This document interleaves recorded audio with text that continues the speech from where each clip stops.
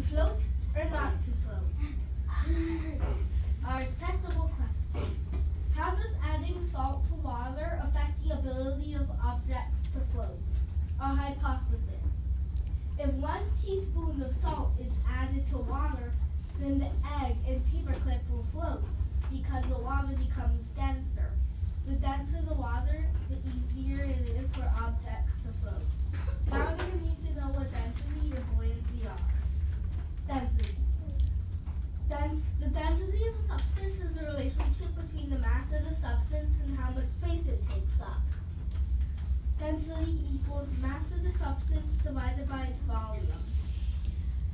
So, mm, here uh, that's a cubic centimeter, so those balls are the atoms. And the one with the less atoms represents the egg, but this one represents the paperclip. So it's stuck afloat. Oh yeah. Mm. Buoy- is buoy- buoyancy is the up, upward force exerted by a fluid that opposes the weight of an immersed object. So, gravity,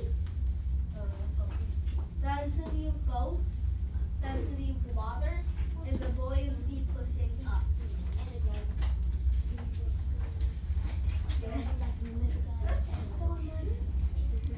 Our materials. Oh, here's also a picture here. 2,000 milliliters of water, 1,000 milliliter beaker, 30 teaspoons of salt, paper clip, egg at room temperature, notebook and pencil, procedures, paper towels, and stirrer. Oh, and our, our data.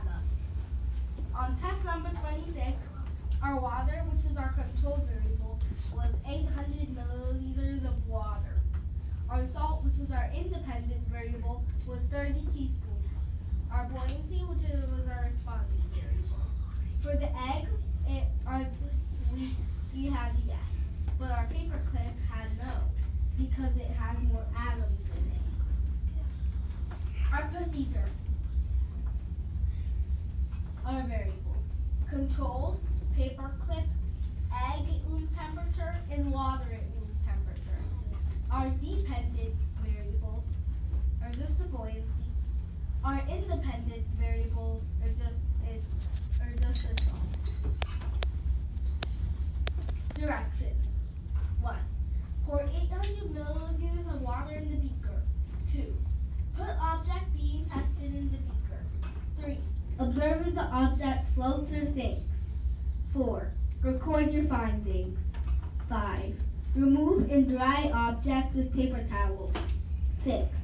Add teaspoon of salt into beaker and dissolve. Seven. Repeat steps two through six until object floats. Eight.